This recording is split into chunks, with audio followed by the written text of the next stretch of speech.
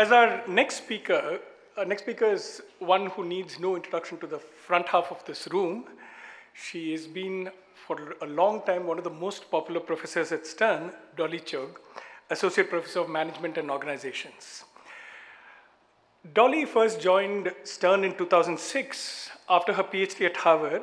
But prior to becoming an academic, she also had a very successful corporate career with companies such as Morgan Stanley, Merrill Lynch, Scholastic, and Time. She currently teaches MBA courses in leadership, management, and negotiations. In 2018, Professor Chugh published her first book entitled The Person You Mean to Be How Good People Fight Bias. The book received considerable acclaim from many authors, including Malcolm Gladwell, Adam Grant, Billie Jean King, and others. At Stern, Professor Chugh's research focuses on the psychology of good people. So, all of us at Stern? While she has won a number of prestigious awards for her research and service, the one she says she's proudest of is the Stern School of Business Teaching Excellence Award from 2015. Today, she will talk to us about being the person you mean to be. Please welcome Dolly Chugh.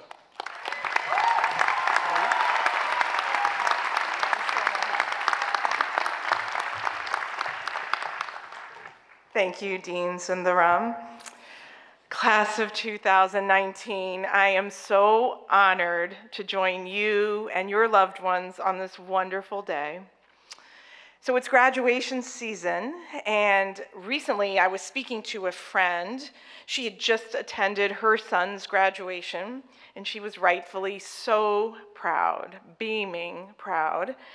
And she said she was not just proud of his accomplishments, which were considerable, but most of all, what she made her most proud was that he was such a good person.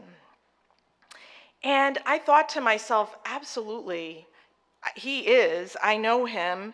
She should be really proud. In fact, many a graduation speaker this time of year focuses on just that message be a good person. And I, I get it. And yet, I have to confess, as a social scientist who studies the psychology of good people, I want you to know the three reasons why this message makes me a little bit nervous.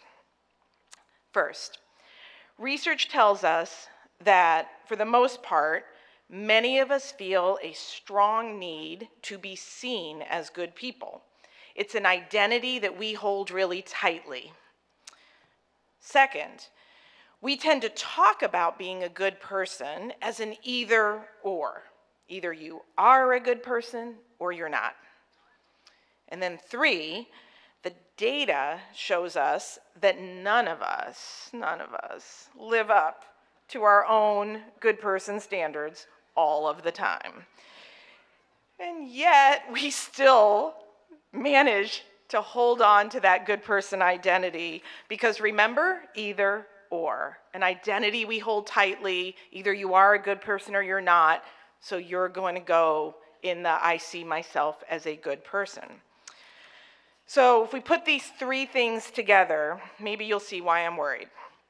When we make mistakes and fall short of our own standards, like I do all the time, inevitably what happens is we go into this red zone defensiveness.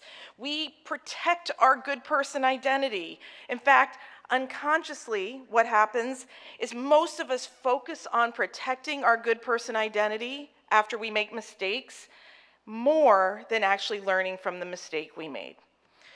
So, take me for example. If a student, which has happened, emails me to say that a reading I've assigned is sexist, or when I publicly confuse two students of the same race who look nothing alike for each other in front of the entire class. When I make these mistakes and they're pointed out to me, I become red zone defensive. It's, ugh, awful. The mistake gets made, I hold tightly to my good person identity, and nothing gets learned in that moment. But here's the thing you see, in most pursuits, such as learning to value a company or learning to navigate a new city, as many of you will do soon, We naturally seek the knowledge of experts. We make mistakes, and what's most important is that we get better after we make that mistake. But when it comes to being a good person, we expect we should know how to do this. And so when the mistakes happen, we don't view them as places to learn. And so that's why I believe that thinking of ourselves as good people is actually holding us back from being better people. It prevents us from learning from our mistakes because we've bought into the notion that good people don't make them. So, I think we should let go of the notion of being good people. I'm not letting us off the hook. Instead, I'm setting a higher standard for the class of 2019. Let's be what I call goodish people. A goodish person is not someone who makes no mistakes. It's someone who is constantly learning from and taking ownership for their mistakes. A goodish person knows that there are costs of our mistakes when it comes to questions like ethics, inclusion, diversity, bias. These mistakes have real costs on real people. So, in fact, as goodish people, rather than waiting for others to point out our mistakes and then going into my favorite red zone, we become better at noticing the mistakes ourselves. We become better at seeing our own blind spots. We know the world around us is always changing, so just like we keep upgrading our knowledge of technology, we do the same regarding ethics and diversity. And when we do that, we do, in fact, keep getting better. Goodish is the path to that. Sidney J. Harris, an American journalist, once said, the three hardest tasks in the world are neither physical feats nor intellectual achievements.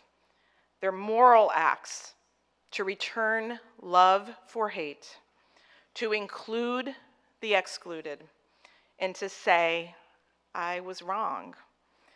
For me, coming out of that red zone defensiveness, saying I am wrong can be the hardest part of being a goodish person.